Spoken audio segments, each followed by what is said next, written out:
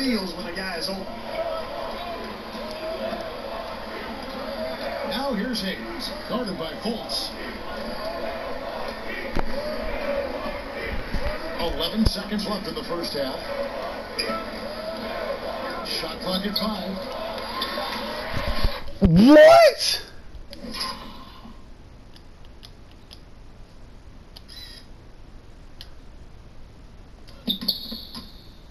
Man,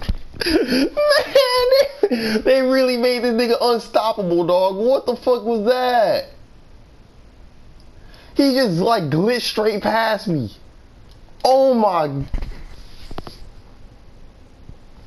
I gotta save that. Holy shit.